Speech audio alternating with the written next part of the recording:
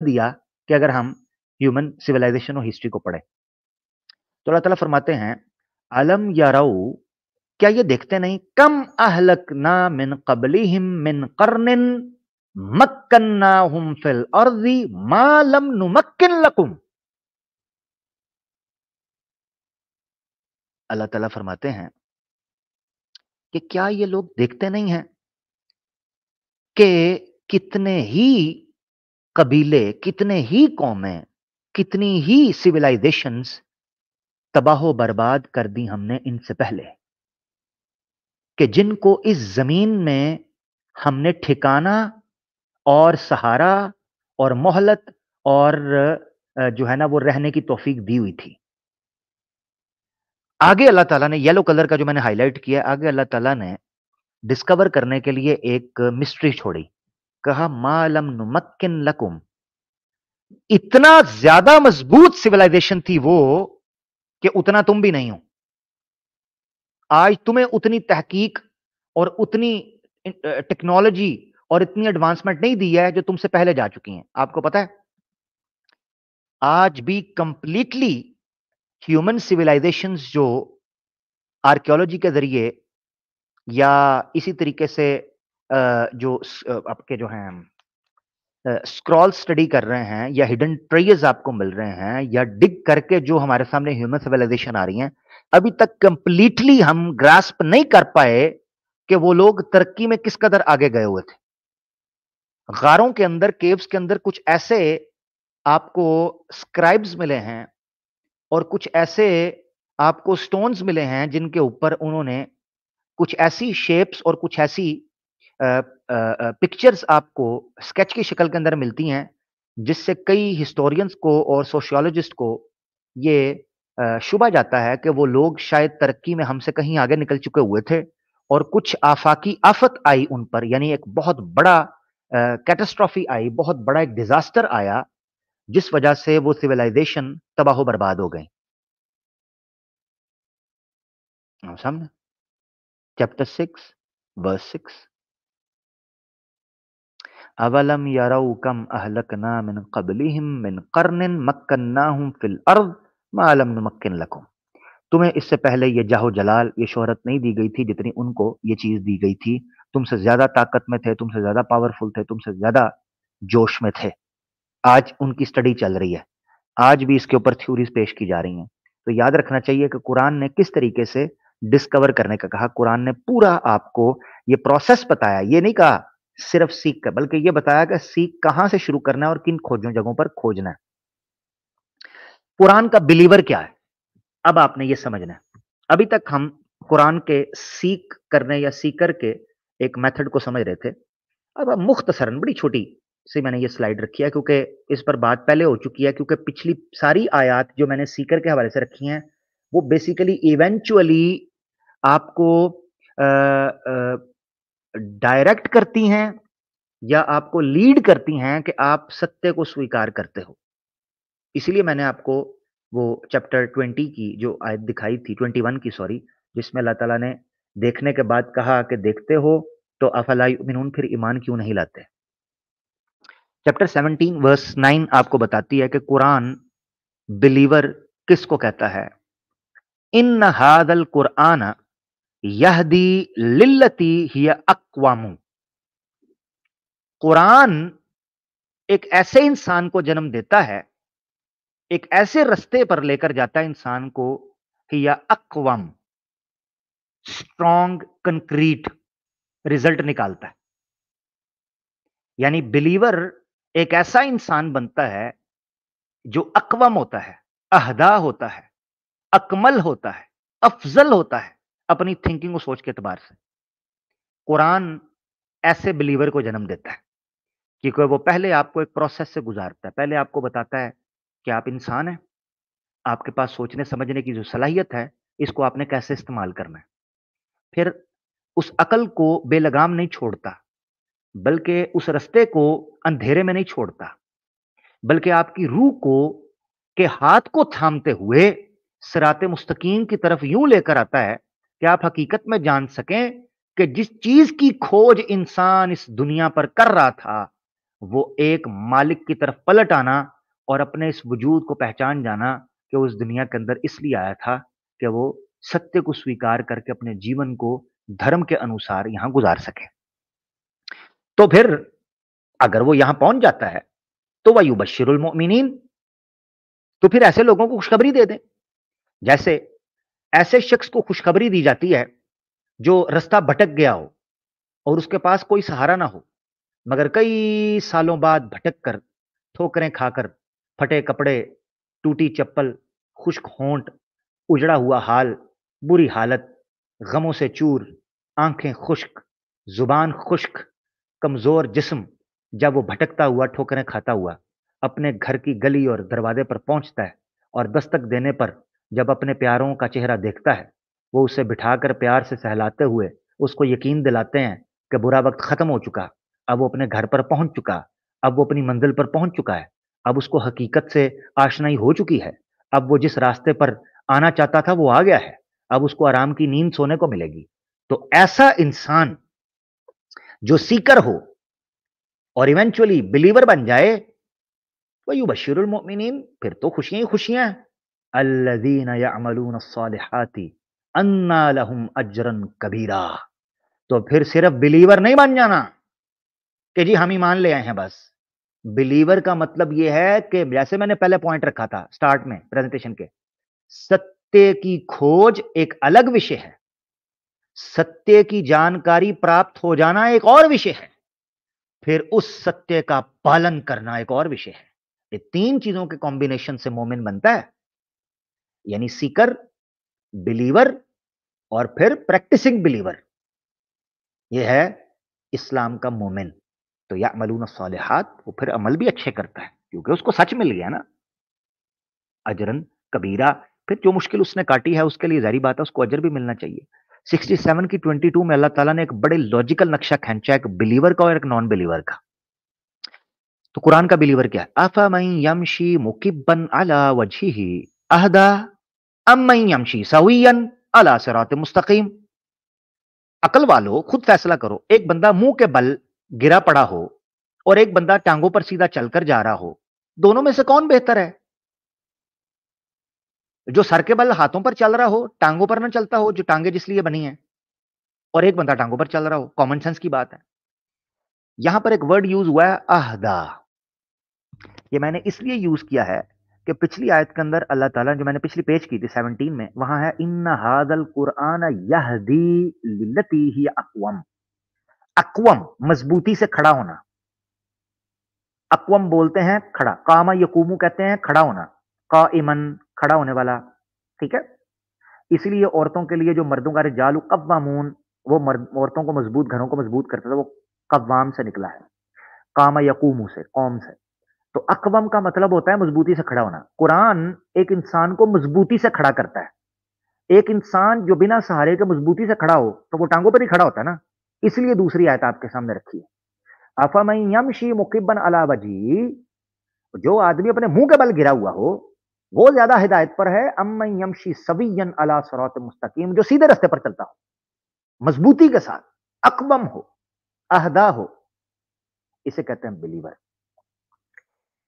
कुरान सबसे ज़्यादा जिस चीज़ का ख्याल करता है ना अपने पढ़ने वालों से, वो करता है उनकी स्टेबिलिटी मेंटल स्टेबिलिटी और उनकी सर्टेनिटी यानी एक इंसान की ज़िंदगी में अगर स्टेबिलिटी नहीं है ना, चाहे वो मानसिक हो आर्थिक हो, शारीरिक हो, वो बंदा हमेशा डिप्रेशन के अंदर रहता है, परेशान रहता है। सनातनियों के साथ या गीता के मानने वालों के साथ समस्या ये है कि उनको एक रास्ता सरात मुस्तकीम की बजाय तीन रास्ते दिखाए गए हैं। कर्म कर्म संन्यास, कर्म योग। इसलिए वो लोग फैसला नहीं कर पाते कि उनको कर्म पर चलना है। यानी कर्म इसलिए करें कि स्वर्ग मिले या नरक मिले या मोक्ष मिले, करें या ना करें, किस लिए करें, इसलिए फैसला नहीं कर पाते कंफ्यूज रहते हैं। इस्लाम का खासा यह है कि वो अपने बिलीवर को स्टेबल करता है, उसको सर्टेन माइंड देता है, उसको कॉन्फिडेंट रखता है, उसको बड़ा फोकस्ड रखता है। ये आयतें आपको बताएँगे। जिससे आपको पता चलता है कि कुरान ने किस तरह आपको फोकस करवाया सेवनटीन की नाइन में अल्लाह ताला फरमाते हैं, एक मिनट रुकेगा जरा। मेरे ख्याल से नहीं, ये गलत होगी आयत। वो मैं प्रेजेंटेशन का ये मसला होता है मैं इसलिए ओरिजिनल दिखाता हूँ। देखिए मुझे पता चल गया। सेवनटीन की नाइन ये भी सेवनटीन की नाइन है, ये वो आयत नहीं है। एक मिनट। मैं गलत ना कर जाऊँ तो मुझे अभी आयत आपको देने दें। एक मिनट। एक्चुअल आयत देने दें या वो वाली गलत है या ये गलत है जो भी है वो आपके सामने आ जाएगी। कई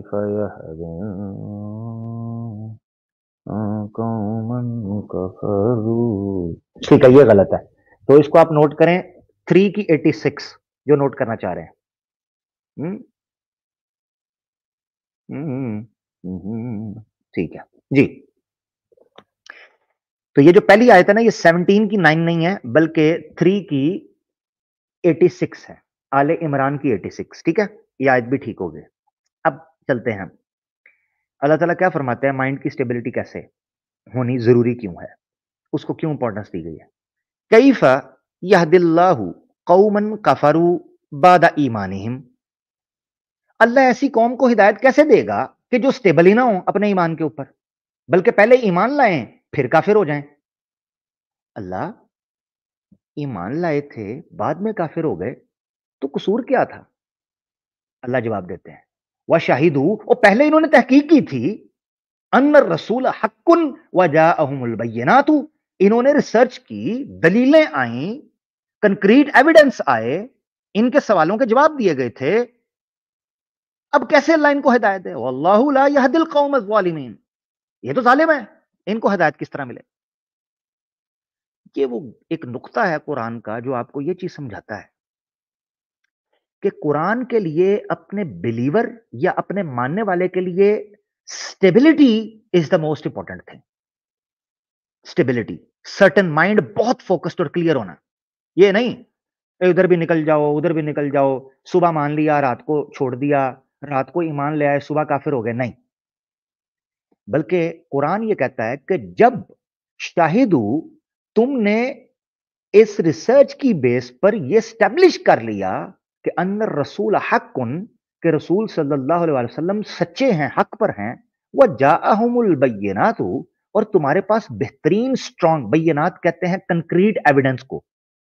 बैनात बेसिकली निकला है बैन से बैन बैन कहते हैं किसी चीज़ का इतना एविडेंट होना इतना प्रोमिनेंट होना, इतना फोर्टिफाइड और कंक्रीट होना, कि उसके लिए किसी बाहर की दलील की ज़रूरत ना पड़े। उसको कहते हैं बैना अल बैनात बयान उर्दू जबान में नहीं बोलते, बयान। ठीक है ना? बयान। तो वो बयान कहते हैं चीज़ों को खोल खोल के बयान करना। तो बैनात बेसिकली मुबालगे के सीगे में अगर इसको लें तो बैनात का मतलब बनता है जाहुल बैनात इनके पास इतने कंक्रीट एविडेंस आ गए थे कि ये गवाही ले आए थे। फिर इनकार कर दिया। ये कबूल नहीं है। ये वजह है कि कुरान अपने बिलीवर को मेंटली स्टेबल पाता है। चार की एक सौ सैंतीस में अल्लाह ताला फरमाते हैं इन लदीना आमनु सुम्मा कफारू, सुम्मा आमनु सुम्मा कफारू सुम्मसदादु कुफरा, लम यकुन लम यकुन वलाल यह सबीला। ये लोग ईमान लाते हैं तहकीक के बाद, तहकीक के बाद, जैसे ऊपर की आयत में है, दलाइल के बाद फिर कुफर कर लेते हैं, ये स्टेबल ही नहीं है। फिर कहते हैं हम ईमान लाए, फिर कहते हैं हम कुफर करें। इस कुरान को यह बिलीवर पसंद नहीं है। कुरान ऐसे बिलीवर को पसंद नहीं करता जो लकीर का फकीर हो, जो लाई लग हो। ए जी, मैंने, मेरा ईमान डगमगा गया, मैंने फला एच मुस्लिम की बोंगी सुन ली। मैं नॉलेज लेना था ना सीकर बनना था। रिसर्च करनी थी। ए जी, मेरा ईमान टकमगा गया। तू खुद डगमगा गया है। तू डगमगा गया है बेटा। तू पढ़ा नहीं। तू पढ़ता तो कभी डगमगाता ना। तो कभी ईमान ले आते हैं, कभी ये काफिर बन जाते हैं। फिर कहते हैं, जी, हम मोमिन हो गए। फिर काफिर हो जाते हैं। सुमस दादू कुफरा। फिर कुछ तो इस जगह पर जाकर बैठ जाते हैं कि इस्लाम को गाली गलोच करते हैं, तमाशे करते हैं, उन चीज़ों को जिनकी तहकीक कर कर ईमान लानी चाहिए थी, उनके बारे में ठट्ठा और मज़ाक करते हैं। तो फिर कैसे अल्लाह इनको बख्शेगा? क्योंकि ये अपने दुश्मन नहीं है, बल्कि ये समाज के लिए हानिकारक है। ये विश्व के लिए हानिकारक है। ये मनुष्य प्रजाति के लिए हानिकारक है। इसलिए फिर इनका गुना बड़ा हो जाता है, क्योंकि ये खुद तो डूबे हैं, दूसरों को भी लेकर डूबते हैं। इसी तरीके से कुरान अपने मानने वाले से और अपने बिलीवर से इतनी सी भी उसको ये रास्ता नहीं उसके लिए छोड़ता कि वो बड़े बड़े गुनाह करना शुरू कर दे। यानी ईमान तो लाए, बिलीवर तो बने। इसलिए मैंने आपको बताया था कि कुरान अपने बिलीवर से इतनी स्टेबिलिटी चाहता है कि वो ये कहता है कि तुमने एक तो ये है कि सत्य को नकारना नहीं है, सत्य को स्वीकार करना है, बल्कि सत्य का पालन भी करना है। इस्लाम अपने बिलीवर को यह सिखाता है कि जो तुम मानते हो ना, फिर उसका पालन भी करना है। यह मज़ाक नहीं है कि मैं श्री कृष्णा की मूर्ति पूजूं और श्री कृष्णा को मानूं भी नहीं। मैं जब जनाब जनाब क्या उसे कहते हैं राम मंदिर का उद्घाटन होने लगे तो उस वक्त नारे मारना शुरू कर दूँ और जब स्ट्रीम से मुझसे पूछा जाए कि जनाब श्री राम जी की कोई गुण तो रखो तो उस वक्त कहूँ, मैं तो हिंदू ही नहीं हूँ। ऐसा नहीं, मुसलमान ऐसा नहीं होता। मुसलमान तो वो होता है छह की बयासी में कि अल्लजीना आमनू, जो बिलीवर होता है ना, वलम यलबिसु ईमान हम बेजुलमैन। तो उसका तरीका ये होता है कि उसको चाहिए ये कि ना वो अपने ईमान के साथ किसी जुल्म को, किसी शिरक को, किसी कबीरा गुनाह को, किसी गलती और खता को मिक्स नहीं होने देता। दूध दूध है, मूतर मूतर है, एक सेहतमंद और स्टेबल और हेल्दी इंसान दूध पीता है, मूतर नहीं। मुसलमान अपने ईमान के साथ किसी किस्म की गंदी मिलावट नहीं होने देता। और अगर ये बिलीवर कुरान का इस चीज़ को अचीव कर ले कि वलम यलबिसु ईमान हम बेजुलमिन तो उलाई का लहमुल अमन। तो ये लोग हैं कि हकीकत में इन्हीं को ईमान मिलता है और अमन मिलता है। वहुम मोहतदून और यही हदायत पर हैं। तो गोया यूँ समझें आप कि ये एक एक यात्रा है मनुष्य की कुरान के अनुसार। अगर वो कुरान को पढ़ता है तो कुरान पहले तीन प्रकार के लोगों को लेकर चलता है। वो लोग, जो मैंने आपको बताया वो दो प्रकार, अभी हमारे साथ डिस्कस तो वो कुरान एंड मॉडर्न साइंस में डिटेल में देख सकता है तो। आज के लिए हम देख रहे हैं वो लोग जो सीकर हैं, जो सीखने के लिए सीखते हैं। तो कुरान उनको एक यात्रा पर लेकर जाता है। कुरान पहले कहता है, अपने आप पे गौर करो। तो देखो तुम कैसे बने हो। क्या खुद ब खुद आ गए हो? तुम्हारा खाना कैसे आया? तुम्हारे इर्द गिर्द की साइंस कैसे काम करती है? तुम्हारी दुनिया कैसे काम करती है? तुम्हारा कॉस्मोस, तुम्हारी आउटर स्पेस कैसे काम करती है? फिर तुम्हारी धरती के अंदर जो भिन्न भिन्न प्रकार के जो सरसब्ज और जानवर हैं और दूसरे तीसरे पशु पक्षी हैं, ये कितने प्रकार के हैं? तुम नहीं देखते हो? इतनी वैरायटी ये चीज़ें। उनको स्टडी करो, उनसे सीखो। तुम्हें पता चलेगा कि ये किस तरीके पर कॉम्प्लेक्स सिस्टम जो खड़ा किया गया है, ये क्या खुद ब खुद ये चीज़ें आ सकती हैं और क्या ईश्वर ने ये चीज़ें फजूल बनाई हैं। फिर वो कहता है कि तुम्हारे पास फिर पैगाम लेने वाले आए ना। शाहिदू अंदर रसूल हक दलाइल आए, तुम्हारे पास मेरा पैगाम आया। कुरान आपको फिर ये बताता है कि तुम्हारे पास जो पैगाम आया, इस पर गौर करो। फिर उसके बाद ईमान लेकर आओ। और फिर ईमान लाने के बाद वो आपको छोड़ नहीं देता। कुरान अपने पर ईमान लाने वाले को छोड़ता नहीं है, बल्कि उसको एंड तक उसका साथ देता है। शर्त सिर्फ़ यह है कि वो उसी बेस पर चले ऑनेस्टी और सिंसेरिटी के साथ और उसको पार लगाता है। कुरान का कमाल यह है। यही वजह है कि कुरान में, खुद कुरान को हबलुल्लाह कहकर मुखातिब किया गया है। आल इमरान में अल्लाह फरमाते हैं वातसीमू बिहबल्लाही जमीआ। अल्लाह की रस्सी को थाम लो, जिसकी तफसीर अल्लाह के रसूल ने की कि अल्लाह की रस्सी ये कुरान है, हाजल कुरान, ये कुरान। अब मुझे बताओ कि आप कहीं गिर रहे हो या तूफ़ान आ जाए या कहीं और फंस चुको तो अगर आप रस्सी को मजबूती से थाम लो तो आपको सहारा मिलता है, आप मजबूती से खड़े हो जाते हो। एक बिलीवर, कुरान का बिलीवर, बेसिकली एक मज़बूत रस्सी को थामे हुआ है। उर्वतल वुस्का को थामे हुए है, एक मज़बूत कड़े को, एक मज़बूत चेन को थामे हुए है, जो उसको जड़ से हिला नहीं सकती।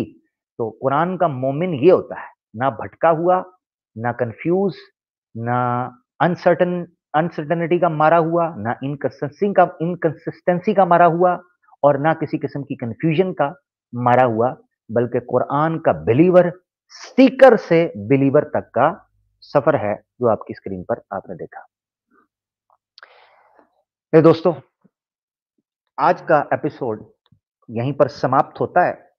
आज हम भगवत गीता वर्सेस कुरान की पोस्ट का तीसरा पॉइंट का पोस्टमार्टम कर रहे थे और जानने की कोशिश कर रहे थे कि कुरान और गीता सीकिंग वर्सेस बिलीविंग को कैसे डील करते हैं।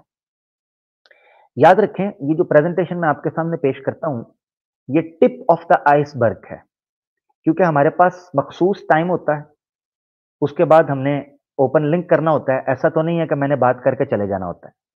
तो हमने लिंक पब्लिकली ओपन करना होता है। ऐसी सूरत में मेरे लिए ज़रूरी होता है कि मैं स्पेसिफिकली उन पॉइंट्स को डिस्कस करूँ जो मैं समझता हूँ कि ज़रूरी हैं इस कॉन्टेक्स्ट में आना। अदरवाइज़ कुरान इन चीज़ों के ऊपर जो बात करता है, हमें एक लंबा समय चाहिए इस पर बात करने के लिए। इसीलिए मैंने इसको एक लंबी सीरीज़ के तौर पर इन अल्हम्दुलिल्लाह, शुरू किया है। अल्लाह ताला मुझे तौफीक दे के इसको ख़त्म कर पाऊँ और आप लोगों तक ये बाकी के 11 प्रोग्राम जो हैं ला पाऊँ इन ठीक है जी? उम्मीद है आप लोगों को बहुत बहुत कुछ सीखने को मिला होगा जी। आई होप बहुत कुछ सीखने को मिला होगा। लिंक मैं ओपन कर रहा हूँ और,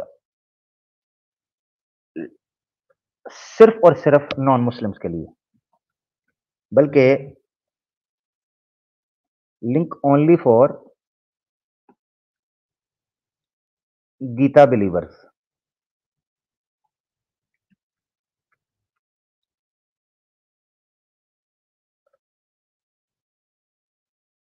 गीता भक्त ये ज़्यादा बेहतर है। गीता भक्त हाँ। लिंक सिर्फ़ गीता भक्त के लिए है। और कोई ना है। ठीक है ना? गीता भक्त। गीता भक्त के अलावा कोई आएगा, साइड पे चला जाएगा, ये याद रखिएगा। चलो मैं उतनी देर अपनी चाय गर्म कर लूँ यार। हम्म? गीता भक्त।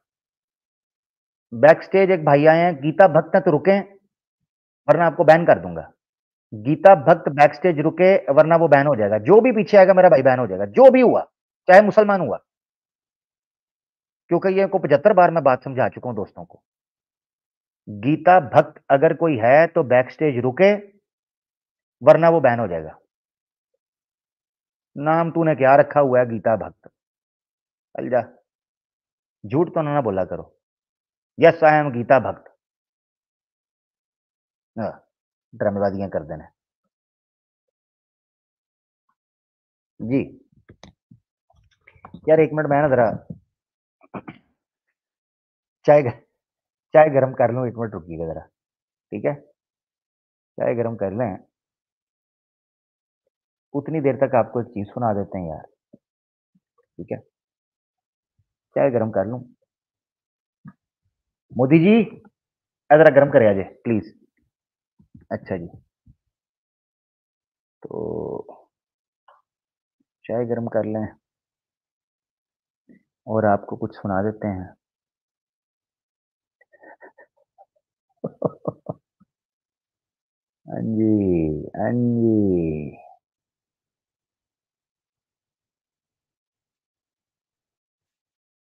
हाँ जी, सुना देते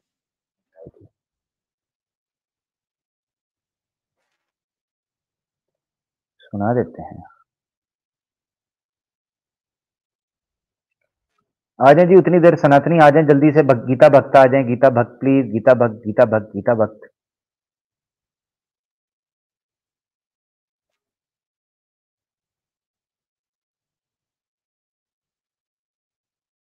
अच्छा जी किधर गए? नज़र आइए जी। इसको मैं चलाता हूँ जरा देखिएगा हैं?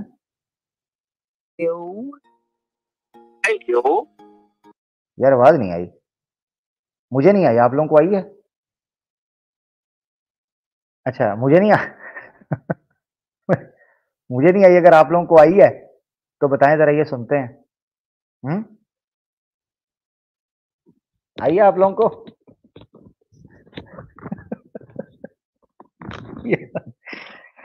एक मिनट रुकिएगा सर। चले अच्छा अगर आपको आ गया तो गुड अच्छा। रील की कह रहा था रील की। रील की आई होगी। चले आइए तो सुने थे कैसा है रे तू? मैं बहुत अच्छा है रे। कौन है रे तू? आए खुद से कब निकलेगा रे तू? कम्युनिटी पोस्ट शेयर करके कहता है मुस्लिम प्लीज़ आंसर अब मुस्लिम बैठा है ना? निकल। ये तो डंगर है। हाँ तेरा बाप। निकल खराब हो गए कि तुझे सामने से कॉल करना पड़ रहा है। आज तेरे को इतनी ज़रूरत इसलिए पड़ गई है कि तुम लोग अपनी खुदों से बाहर नहीं निकल रहे। तुम लोग अपने खुदों से बाहर नहीं निकल रहे। मैं हग रहा हूँ ताकि तुम लोग इसको काटो अब हमें कड़ी ना लगाना। तू हिंदू नहीं है तो तेरे सुनने वाले तो हिंदू है ना उनकी ऐसी की तैसी है। मैं उस तोते की गर्दन मरोड़ूँगा जिसमें तुम लोगों की जान है। घबरा मेरा घंटा रहा है घबरा रहा है। आवाज़ तेरी नहीं निकल रही घबरा मैं रहा हूँ बहुत अच्छे। ये मैं यार चुप रहे। हाँ तो रोना बंद करना बात कर। हाँ। मेरा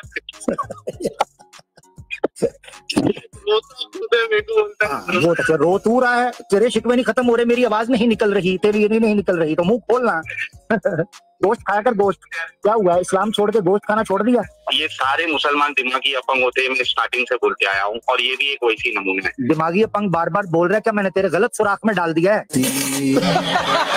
ओके अमित फिर से लगाओ थैंक यू मैं लगाऊँ?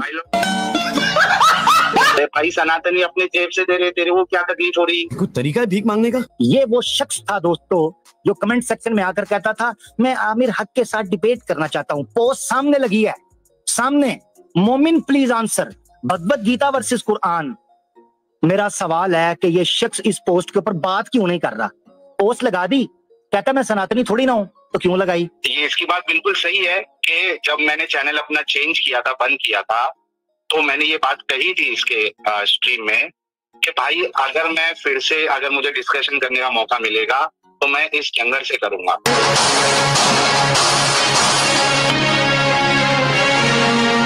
मैं तो बोला, यार, इतनी बड़ी गलती मेरे से हो गई। तो एक नंबर का बेवकूफ़ है। ये तो इतना बड़ा बेवकूफ़ है कि आज भी उसके नाम की सुपर चैट ले रहा हूँ। देखा आपने लापरवाही का नतीजा? ये सुपर चैट पे बैक हो जाएगी क्योंकि जो मैंने सुना दिया ना तेरी पब्लिक को तो इस सुपर चैट में सदके में और खैरात के अंदर तुझे देता हूँ। क्या बात है सर क्या बात ये बात है। अभी दो तीन दिन के अंदर वो वाली पोस्ट डिलीट कर देता हूँ। दोस्तों पोस्ट डिलीट करने तक आ गया। ये है ये है। या मेरे नाम का बीफ का बर्गर खा ले। या अल्लाह ये क्या किया तूने? ये क्या किया तूने? पोस्ट डिलीट करने तक आ गया। गीता वर्सेस कुरान की पोस्ट सनातनियों और सनातनियों यहाँ से तुम्हें होश आनी चाहिए। इनका कोई दीन धर्म नहीं है। ये सनातन धर्म को भी किसी तरीके से डिलीट करके तुमसे पैसा कमाएँगे।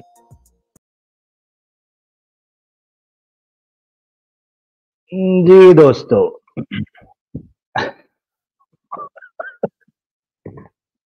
अरे अरे, क्या कहने? क्या कहने? ये है सूरत हाल ये है हकीकत। हैं? भगौड़े भगौड़े। रोंदे चैंपियन बनन नु, रोंदे ड्रामेबाजी अच्छा जी। हमारे साथ कुछ गीता भक्त जुड़े हैं। लेट्स सी अगर ये कोई काम की बात करते हैं तो हम इनको लेकर चलेंगे। किधर गए हैं? जी, ये। एक मिनट। चित्त पवन ब्राह्मण। जी भाई। कैसे भाई? हैं? भाग गया ये तो भाग गया अच्छा इस बेचारे को ना ये काफ़ी अरसे से कमेंट भी कर रहा है। नीचे मैंने देखा इसको लग रहा था कि शायद ना कोई स्क्रिप्टेड यहाँ पर जिस तरह एक्स मुस्लिम का प्रोग्राम चलता है ना, वैसे शायद यहाँ स्क्रिप्टेड चल रहा है। वो कंफर्म कई, मैं आपको बताऊँ, कई सनातनी कंफर्म करने आते हैं। कि पता नहीं हमें लेता कि नहीं लेता। वो उसको आज वो फ़र्स्ट टाइम आया, उसको पता चल गया ले लिया है। अब क्या करूँ? अब दीदी पेश कर। इसके अलावा कोई चारा नहीं। जब आ गए हो तो फिर पेश करो। बक बकैया तो तुम बहुत करते हो कमेंट्स के अंदर। हैं? अब फट गया, निकल गया, भाग गया भाग गया। ड्रामे बाहर। वापस आना। वापस आ जा भाई। क्या हो गया है? क्यों डरते हो? अच्छा जी, एक, यार वेरीफाई करके आओ वेरीफाई वेरीफाई ये दो बंदे वेरीफाई करके आओ। ये इनको मैं स्टेज से बाहर फेंक रहा हूँ। वेरीफाई करो वेरीफाई वेरीफाई ऐसे नहीं। वेरीफाई करके आओ। शाबाश। ताकि मुझे पता चले ना तुम्हें लगाम कहाँ से डालनी है। तू भी वेरीफाई करके आ चल वेरीफाई जल्दी। तू भी वेरीफाई करके आ। चल जल्दी जल्दी जल्दी जल्दी। डेढ़ क्षण हो तुम्हारा बाप बैठा है यहाँ पर पता नहीं चलता किसके डेरे पे आए हो। हम्म। नंद भाई हमारे साथ आए हैं। जी नंद भाई कैसे हैं? जी हाँ ठीक है भाई। ठीक भाई।